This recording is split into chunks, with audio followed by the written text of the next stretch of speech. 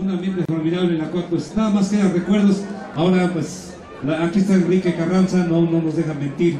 Cuando únicamente teníamos un solo policía, un solo policía para todo el pueblo, porque no había problemas, únicamente cuando se robaban un guajolote, un canario.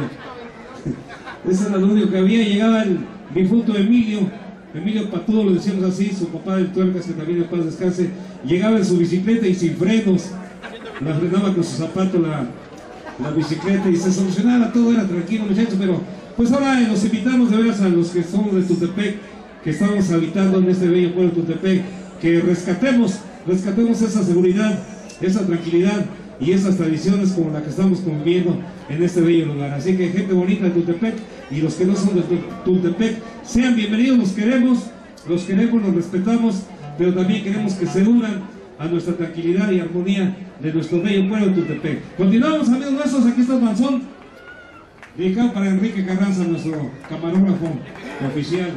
Y este danzón se llama Enrique Herrera, que lo disfruten, vamos a bailar.